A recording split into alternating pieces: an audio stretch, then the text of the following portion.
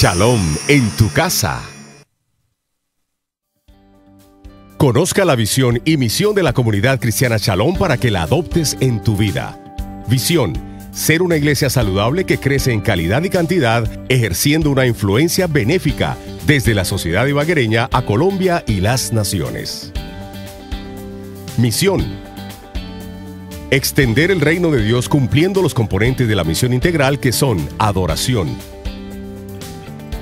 comunión, evangelización,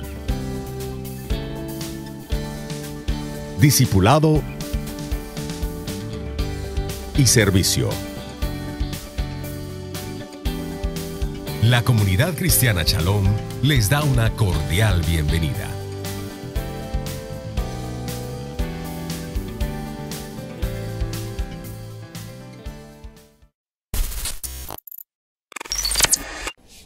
Muy buenas noches, querida Iglesia Chalón.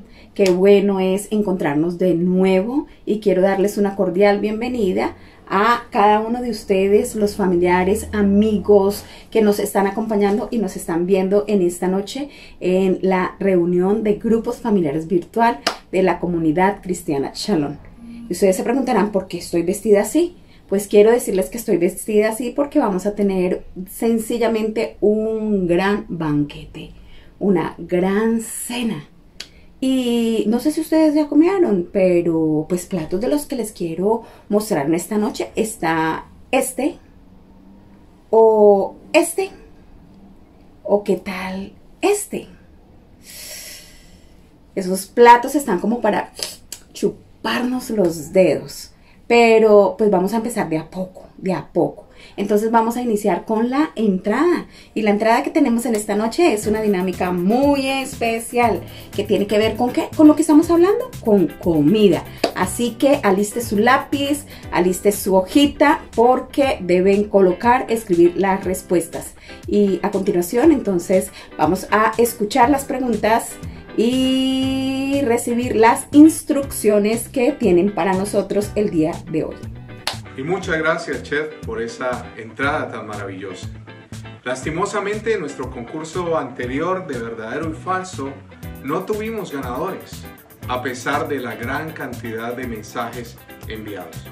La buena noticia es que el premio se acumula para esta semana. Y esta semana nuestro concurso está demasiado fácil. Nuestro concurso de hoy consiste en identificar el plato de comida o alimentos utilizados en los siguientes pasajes de la Biblia. Una recomendación, espere contestar todo el bloque de preguntas para que usted pueda enviar las respuestas a este link que aparece en pantalla. Un ejemplo para que nos vayamos calentando a este gran concurso. Una pregunta.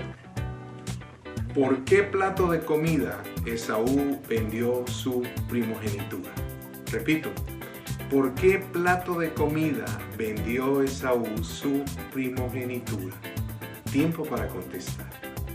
Y si allí en casa contestaron que por un plato de lentejas, han acertado. Así que felicitaciones, han acertado. Lamentablemente este era solamente una pregunta de prueba. Así que prepárese. Ya vienen cinco preguntas definitivas con las cuales usted va a concursar en casa. Y estas son nuestras cinco preguntas de nuestro concurso en esta noche. ¿Cómo se llamaba el alimento que envió Dios a los israelitas en el desierto? Repito, ¿cómo se llamaba el alimento que envió Dios a los israelitas en el desierto? Tiempo para contestar.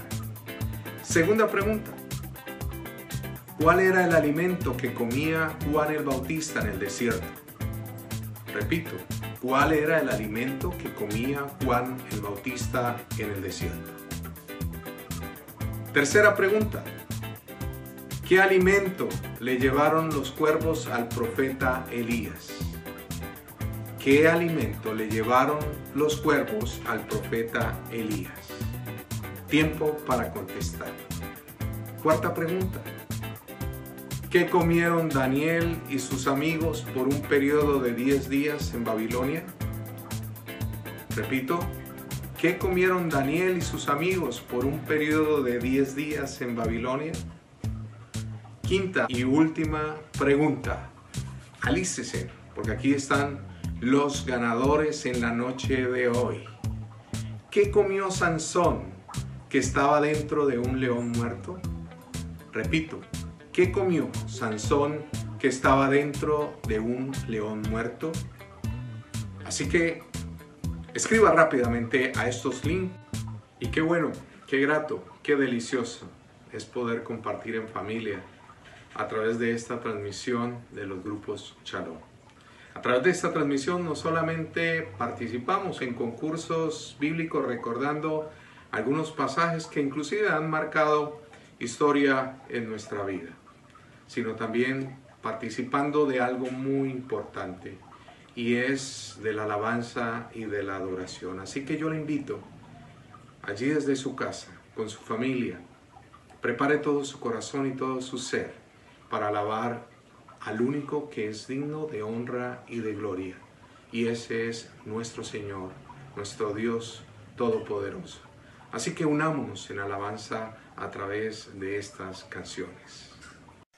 Bienvenidos a la sala de mi casa. Hoy vamos a adorar juntos al Señor. Invité a mi hija Elena para que podamos cantar juntos. Vamos a cantar unas canciones y entrar a su presencia. Así es, esta primera canción es basada en el versículo en Mateo 7, 7 y 8 que dice, Pedid y se os dará, buscad y hallaréis, llamad y se os abrirá, porque todo aquel que pide, recibe, y el que busca, halla, y al que llama, se le abrirá.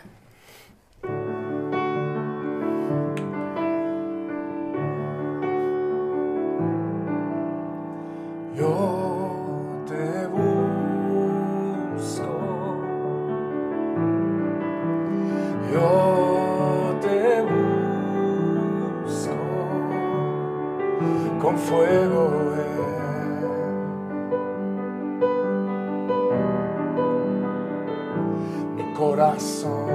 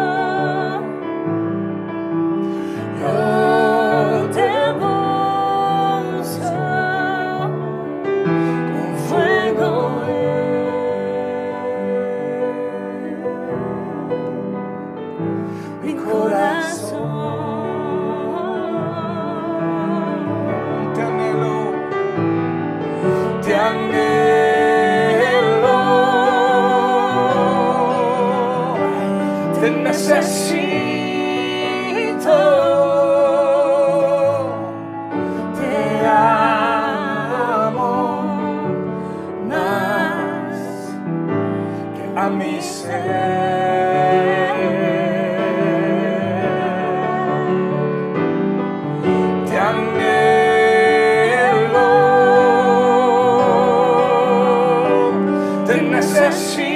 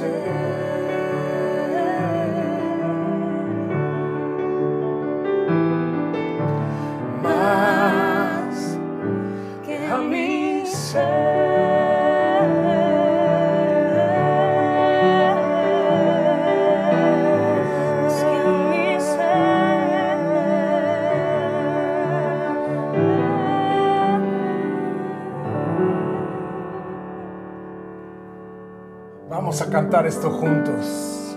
Tus ojos revelan que yo nada puedo esconder, que no soy nada sin ti, oh fiel Señor.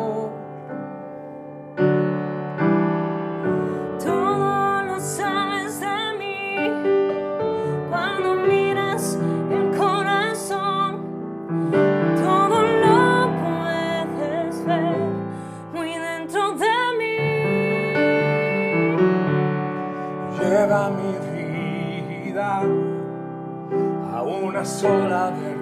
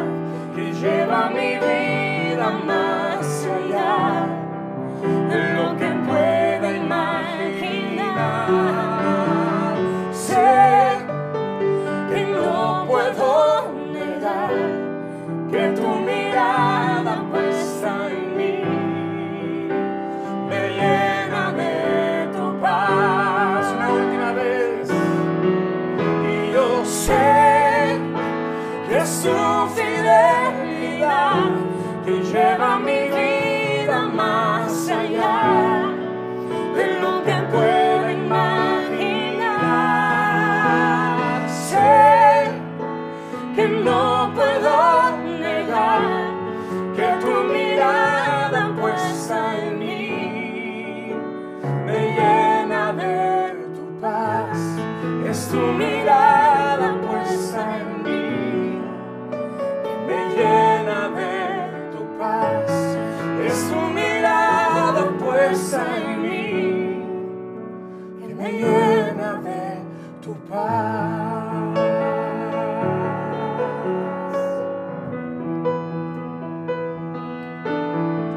corazón se ama, hermoso eres.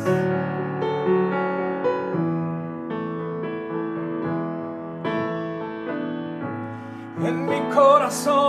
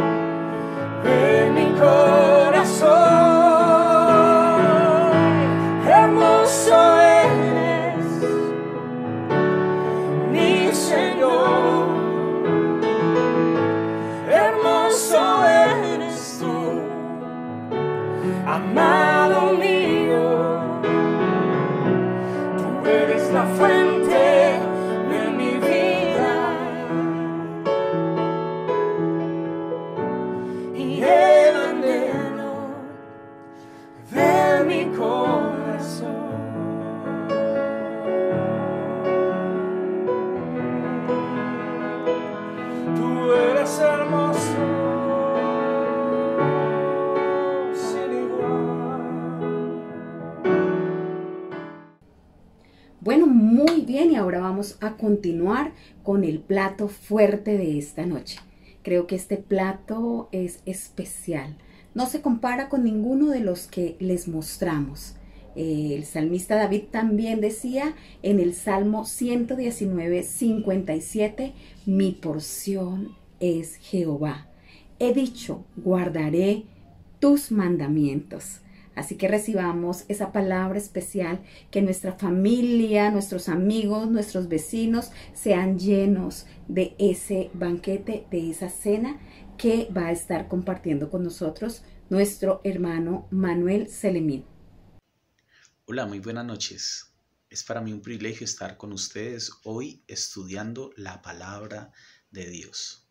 Imagínate por un momento de que vas a preparar un banquete espectacular porque ha habido un suceso único, un grado, el grado tuyo de la universidad, del colegio, de tu hijo, lo que sea. Imagínate que contratas al mejor chef, la mejor comida, la mejor decoración, entrega las invitaciones a todos tus amigos y tus familiares y el día de la gran cena no llegan las personas y te dejan con la mesa servida. Te pregunto, ¿qué sentirías?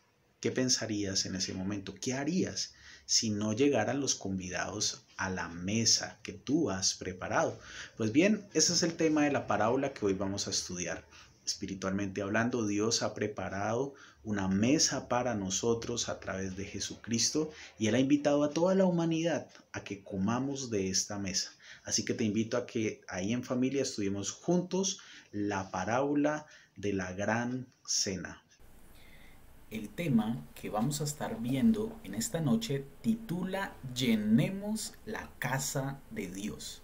Y quiero invitarte a que ahí me acompañes en la lectura de la parábola de la gran cena. Esta la encuentras ahí en tu Biblia, en Lucas capítulo 14, desde el versículo 15. Dice la palabra de Dios. Oyendo esto, uno de los que estaban sentados con él a la mesa le dijo, le dijo a Jesús, Bienaventurado el que coma pan en el reino de Dios. Entonces Jesús le dijo, un hombre hizo una gran cena y convidó a muchos, y a la hora de la cena envió a su siervo a decir a los convidados, venid que ya todo está preparado. Y todos a una comenzaron a excusarse. El primero dijo, he comprado una hacienda, necesito ir a verla, te ruego que me excuses. Otro dijo, he comprado cinco yuntas de bueyes y voy a probarlos, te ruego que me excuses. Y otro dijo, acabo de casarme y por tanto no puedo ir. Vuelto el siervo, hizo saber estas cosas a su señor. Entonces, enojado el padre de familia, le dijo a su siervo, ve pronto por las plazas, por las calles, por la ciudad, y trae acá a los pobres, los mancos, los cojos, los ciegos. Y dijo el siervo, Señor, se ha hecho como mandaste, y aún hay lugar. Dijo el Señor al siervo, ve por los caminos y por los vallados, y fuérzalos a entrar, para que se llene mi casa. Vuelvo a leerlo, fuérzalos a entrar, para que se llene mi casa, porque os digo que ninguno de aquellos hombres que fueron convidados gustará mi cena. Esta parábola en primer lugar tiene una referencia directa al pueblo de Israel y a lo que sucedió en esos momentos en el ministerio de Jesucristo. Si ustedes notan, la persona que le hace la pregunta a Jesucristo acerca de las bodas, de la mesa, del reino de Dios, de esa cena que ellos estaban esperando como pueblo de Israel con la manifestación del Mesías, el pueblo de Israel esperaba que eso fuera en el futuro. Ellos no quisieron ver en Jesucristo la manifestación del reino de Dios, estaban cegados y estaban esperando esa manifestación. El Señor Jesucristo les predicó a todos el Evangelio, pero encontró muchas excusas en el pueblo de Israel, en especial en esta clase religiosa, en los fariseos, en los escribas, quienes pusieron diferentes excusas a través de la ley para no querer creer en Jesucristo. Sin embargo, Jesús no se detuvo ahí, sino que él avanzó en su ministerio y él volcó su ministerio a los más necesitados, a los pobres, a los ciegos, quienes sí recibieron el mensaje y se sentaron a la mesa del reino de Dios que ya había sido dispuesta a través de Jesucristo. Sin embargo, Jesús no se queda ahí, sino que Él le da el mandato a los discípulos, a sus siervos, y les dice, no solamente vayan a mi pueblo, sino que vayan a los vallados, salgan de la ciudad. Y fue lo que los discípulos hicieron después. Ellos salieron por todo el mundo y predicaron el Evangelio no solo al pueblo de Israel, sino a todas las personas. Ellos fueron, como lo dice en la parábola, hasta el último rincón del vallado y predicaron el mensaje a todo el mundo. Así que es importante tener en primer lugar en cuenta esta interpretación directa de la parábola en el contexto en el que fue dicha. Sin embargo, esta parábola también nos deja a nosotros como pueblo de Dios hoy en día una enseñanza valiosísima que quiero que juntos estudiemos. Ahora, yo quiero preguntarles en esta noche, ¿será que la labor de evangelización de la iglesia solo debemos llevarla a cabo cuando podemos reunirnos en un lugar físico? ¿O realmente la iglesia somos todos nosotros los que conformamos el pueblo de Cristo, a pesar de que no podamos reunirnos físicamente?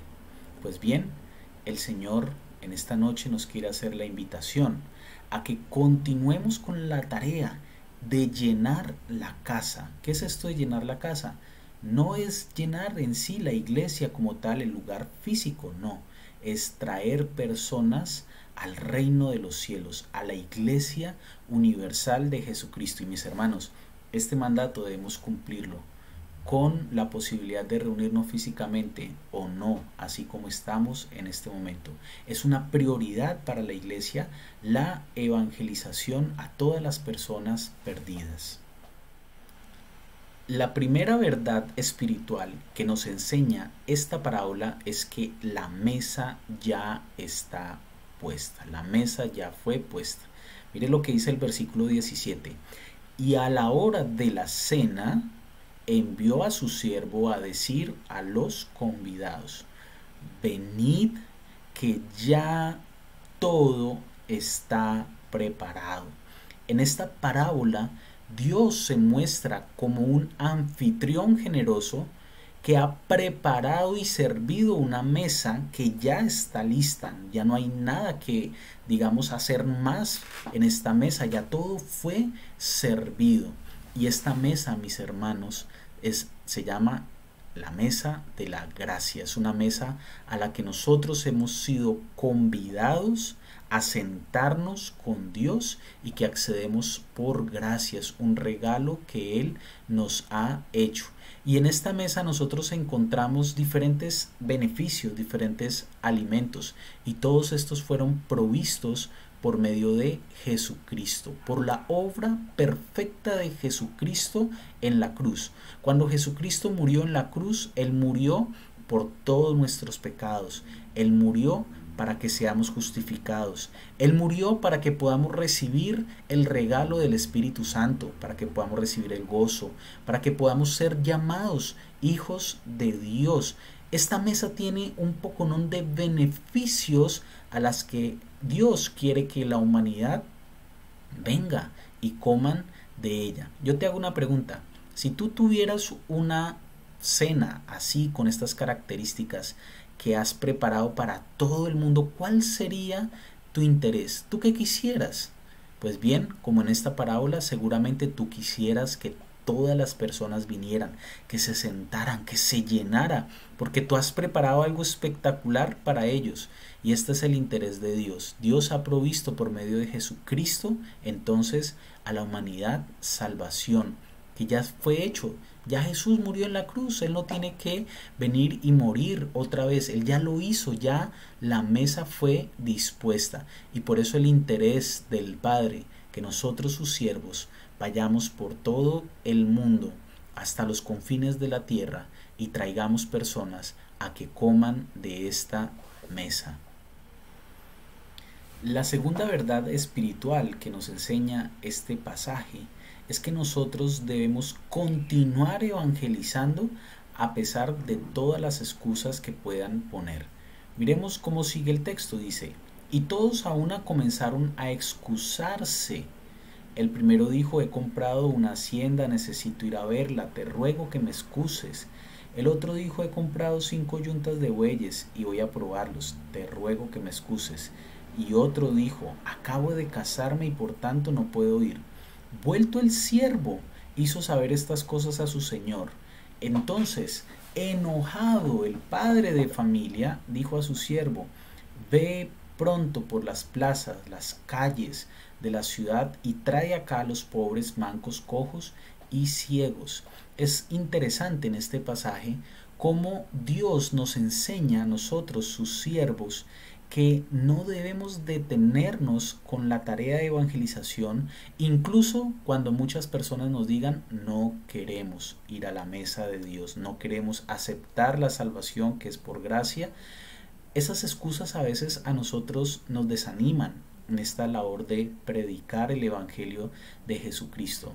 Pero ¿qué, ¿cuál fue la reacción del padre de familia? Él dijo, ay, ya no han recibido de la invitación a la mesa, ya dejemos así, dejemos la mesa servida.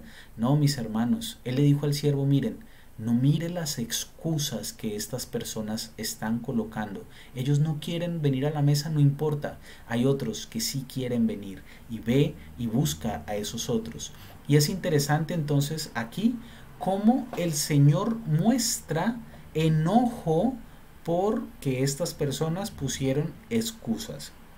En las parábolas del Señor, en muy pocas parábolas vemos emociones de parte de Dios y en la mayoría vemos emociones cuando son temas que tienen que ver con la salvación. En este caso, ¿cuál es la emoción que muestra el Padre, que es la referencia a Dios? Él se enoja cuando estas personas ponen excusas. Y lo contrario, ¿qué sería lo contrario con las personas que no ponen excusas y aceptan el llamado?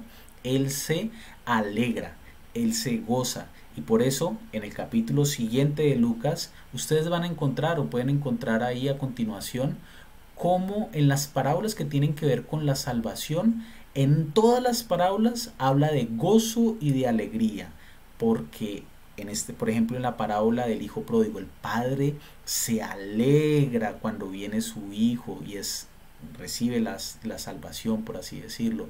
La mujer se alegra cuando encuentra la moneda y el pastor se alegra cuando encuentra a la oveja perdida.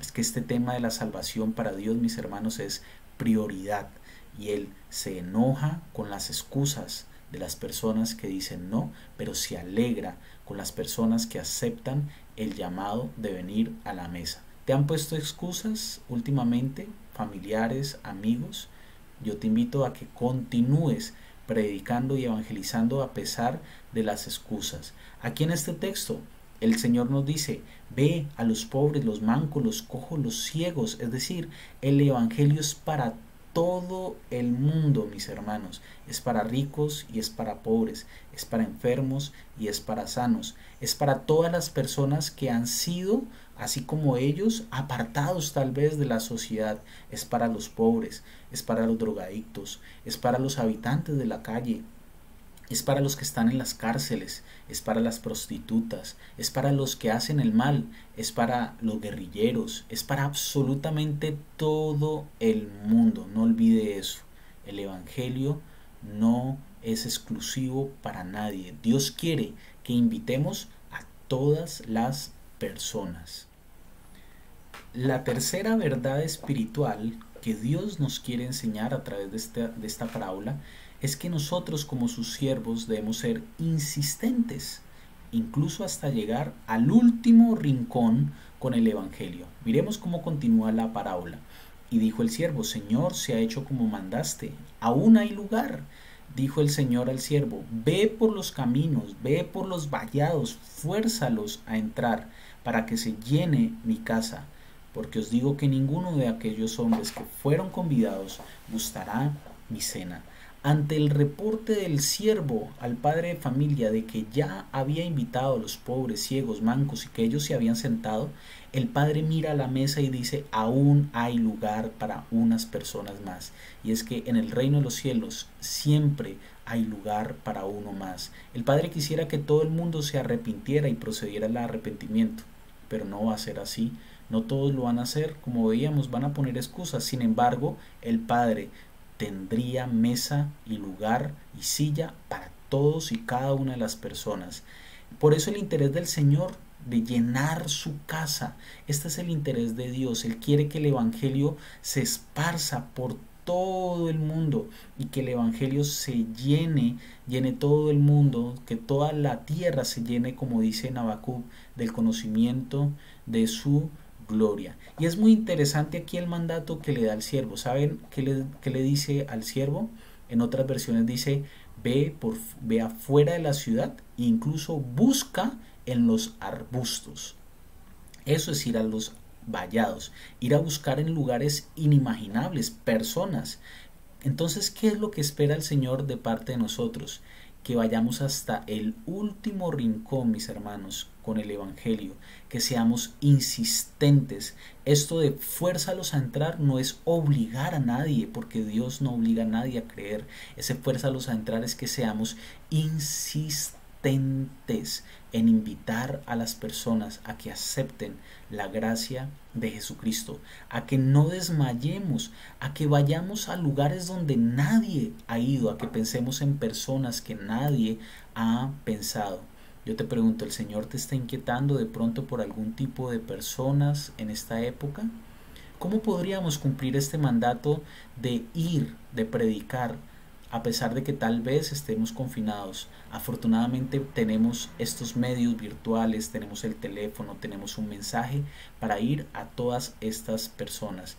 Así que mi, invitación, mis hermanos, en esta noche es a que juntos respondamos este llamado que nos hace el Señor como iglesia, a que no paremos la labor evangelística a pesar de estar aquí confinados en este tiempo. No sabemos cuánto tiempo vamos a estar así, pero lo que sí sabemos es que debemos cumplir el mandato y debemos continuar con la labor evangelística de una forma insistente y de una forma diligente. Señor, en esta noche te damos gracias, Padre porque tú has preparado esta mesa por medio de Jesucristo. Gracias por la vida de Jesús, por su sacrificio en la cruz, porque Él murió por todos nosotros, por todos nuestros pecados, para darnos la salvación.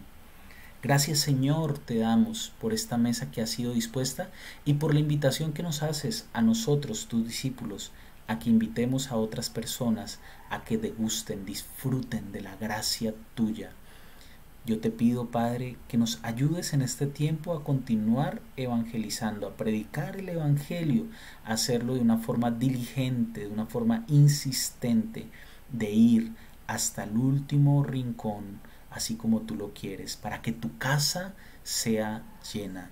Muchísimas gracias por hablarnos, por darnos estrategias para este tiempo y porque tu Espíritu Santo nos ayuda. Él es el que convence.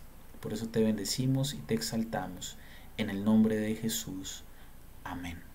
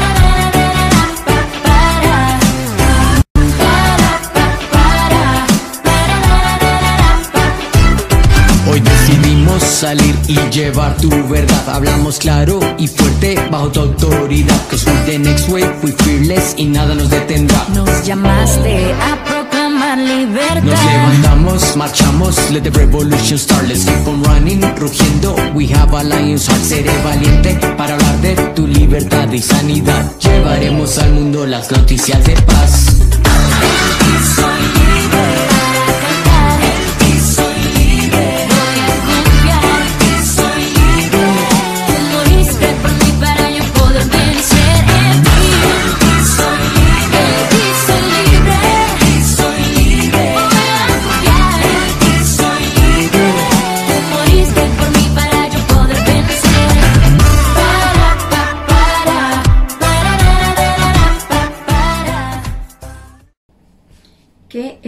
palabra. Y es que definitivamente la palabra de Dios es el mejor alimento que nosotros podemos tener. Y bueno, ya estamos llegando al final y nos falta el postre. Y para el postre esta noche tengo dos invitadas muy especiales de nuestro grupo familiar y ellas son Miriam Tobar y Angelita. Así que bienvenidas hermanas.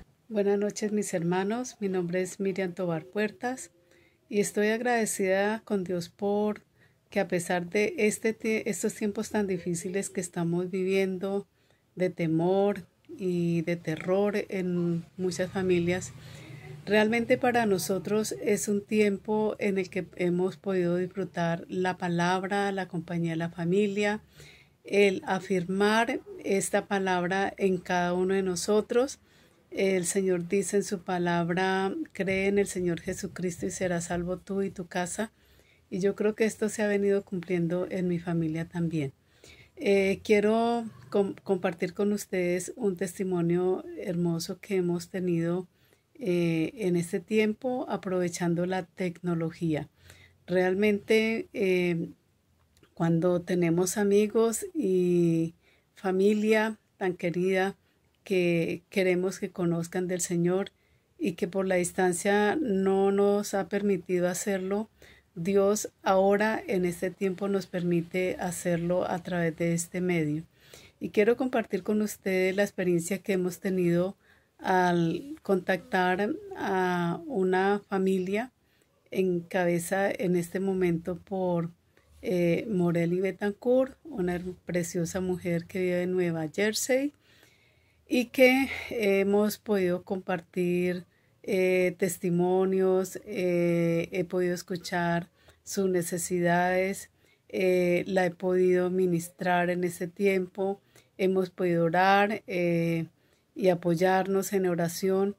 Entonces, este tiempo ha permitido que ella conozca del Señor, que esté ansiosa de conocer la palabra, de alimentarse.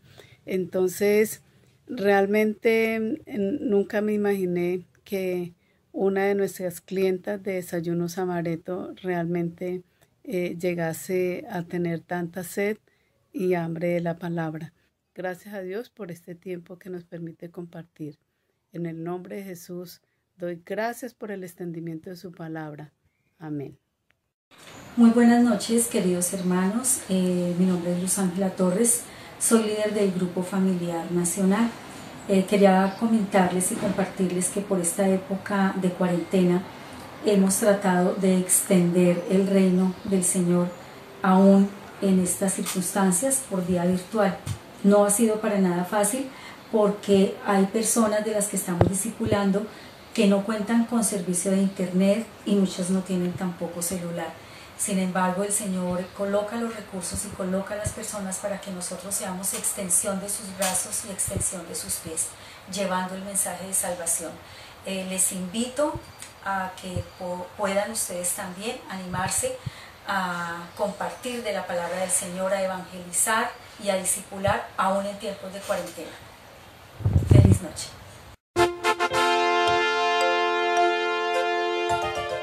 Listo, ya tengo los elementos.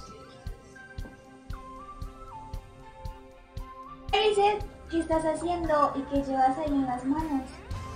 Daniela, ¿qué tal? Dios te bendiga. Llevo los elementos para celebrar la Santa Cena. ¿La Santa Cena? ¿Y qué es eso? La Santa Cena es una celebración que hacemos los cristianos para recordar el sacrificio que hizo Jesús por nosotros en la cruz del Calvario. Asombroso, pero ¿qué significan los elementos que tienes ahí en las manos? El vino representa la sangre de Jesús que derramó en la cruz por perdón de nuestros pecados. Y el pan representa el cuerpo de Jesús. ¡Wow! Esto es muy interesante. ¿Podrías contarme un poco más sobre la Santa Cena? Claro que sí. Te invito a ti y a los chicos que están aquí presentes a ver la siguiente historia titulada La Última Cena. Cena que tuvo Jesús con sus discípulos y entender cómo fue toda la oración. Así que prestemos atención todos. Historias de la Biblia. La Última Cena. Este es Jesús. El Hijo de Dios y el Salvador del mundo. Mientras que Jesús estaba en la tierra, Él enseñó a todos acerca del amor de Dios y curó a las personas de sus enfermedades. Él hizo muchos milagros como calmar tormentas. E incluso resucitó personas.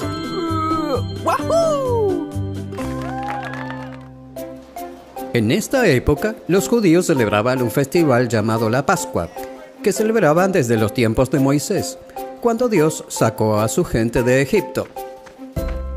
Así que Jesús fue a Jerusalén a celebrarlo. Los discípulos le preguntaron a Jesús dónde querían comer la cena de Pascua esa noche. Jesús dijo, al entrar ustedes en la ciudad, les saldrá al encuentro un hombre que lleva una vasija de agua. Síganlo hasta la casa que entre y díganle al dueño de la casa. El maestro pregunta, ¿dónde está la sala en la que voy a comer la Pascua con mis discípulos? Él les mostrará en la planta alta una sala amplia y amueblada. Preparen allí la cena. Los discípulos encontraron todo justo como Jesús lo había dicho. Más tarde, en esa noche, Jesús llegó con los doce discípulos. Ellos se sentaron a comer y Jesús dijo que estaba feliz de estar con todos. Y mientras comían, Jesús tomó algo de pan y lo bendijo. Él dijo, Este pan es mi cuerpo, entregado por ustedes. Les dijo que hicieran esto para ayudarlos a que lo recordaran. Entonces tomó una copa de vino y le dio gracias a Dios por esta. Y él le dijo a los discípulos, Esta es mi sangre del pacto que es derramada por muchos para el perdón de pecados. Jesús dijo, uno de ustedes que está comiendo conmigo me va a traicionar. Él les dijo que las cosas estaban destinadas a suceder de esta manera, pero la gran tristeza le aguardará a quien lo traicione. Los discípulos estaban enojados y preguntaban, ¿Soy yo? ¿De quién está hablando? Judas le preguntó a Jesús, ¿Soy yo? Y Jesús le dijo, Tú lo has dicho.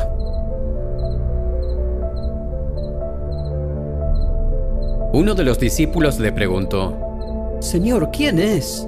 Jesús dijo que éste iba a ser al que le daría el pan. Le dio el pan a Judas y dijo, Apresúrate y haz lo que tienes que hacer. Ninguno de los otros en la mesa sabía a lo que Jesús se refería.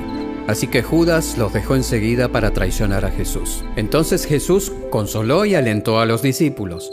Él les prometió que vendría un ayudador luego de que Jesús se fuera. Ellos cantaron a Dios unidos.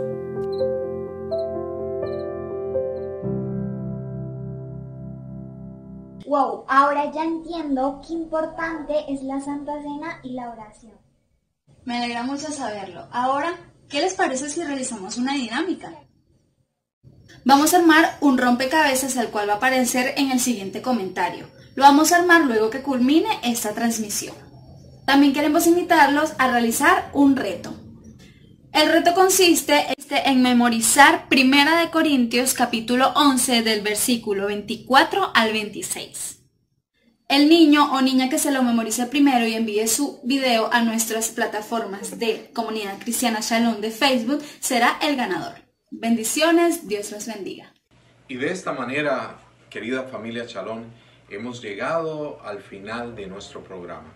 Esperamos que haya sido de su agrado no sin antes invitarles para que estén pendientes de nuestras reuniones el miércoles 7 de la noche por Zoom, reunión de oración, viernes 7 y 30 grupos familiares, los sábados grupo de jóvenes y el domingo nuestra reunión dominical a las 10 y media de la mañana. Que el Señor les siga bendiciendo ricamente.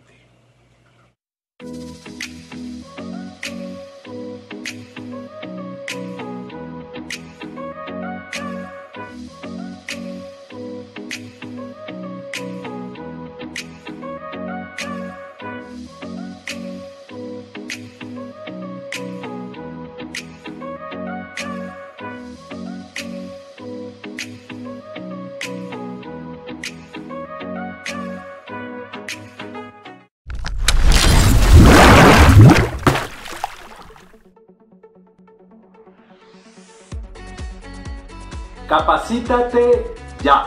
Y no se trata de una capacitación virtual para aprender a hacer negocios digitales o virtuales. No. Presta atención porque te voy a explicar cuál es la ruta de formación que tenemos en la comunidad cristiana Shalom. Tenemos tres niveles de formación, nivel básico, intermedio y avanzado. Comencemos. En el nivel básico tenemos tres escuelas. Nueva vida en Cristo, principios de membresía y cómo estudiar la Biblia. Nueva vida en Cristo está diseñada para aquellos nuevos creyentes, aquellas personas que están hasta ahora comenzando su relación con Dios a través de Jesucristo. En principios de membresía, usted va a conocer cuál es la misión, la visión, los principios y valores que como comunidad cristiana Shalom tenemos. Además, la segunda parte de la escuela, usted va a conocer cuáles son las cinco disciplinas espirituales que debemos desarrollar ahora como nuevos creyentes. En cómo estudiar la Biblia, usted va a conocer el método devocional y el método inductivo para estudiar profundamente las escrituras. Nivel intermedio. Espíritu Santo, a través de todo el recorrido del Antiguo y Nuevo Testamento vamos a acercarnos a la persona del Espíritu Santo. En esta escuela usted no solamente va a conocer todos los dones que menciona la Biblia, sino que seguramente usted va a conocer el don o los dones que Dios le ha otorgado y por el buen uso de ellos usted va a servir mejor. Somos iglesia en esta escuela vamos a conocer cuáles son los beneficios de ser parte de la familia de Dios, pero también vamos a conocer cuáles son nuestras responsabilidades. Y llegamos al nivel avanzado, la vida de Jesús. En esta escuela vamos a hacer un recorrido por los cuatro evangelios para conocer la vida, el ministerio y profundizar en la obra redentora de Jesucristo en la cruz del Calvario. Para este segundo ciclo de formación estamos ofreciendo dos escuelas especiales que son la familia como Dios la quiere y la escuela de mujeres de honor. Para estas dos escuelas usted no necesita ningún tipo de prerequisito, no tuvo que haber pasado ya por toda la ruta de formación, así que usted sencillamente inscríbase y puede participar en alguna de ellas. Así que tenga en cuenta cuál es nuestra ruta de formación para que a partir de mañana lunes usted pueda inscribirse accediendo a nuestras plataformas. Seguramente si usted es parte de un grupo familiar, usted va a recibir el link donde podrá inscribirse virtualmente. Puede escoger entonces una de acuerdo a la ruta en la cual usted va y otra escuela especial. Así que les esperamos para que en esta semana usted, por favor, se inscriba y participe de este segundo ciclo de las escuelas de formación de la comunidad cristiana Shalom. Bendiciones. Gracias por estar conectados. Compártela con otros y te invitamos a estar atentos a nuestra próxima transmisión.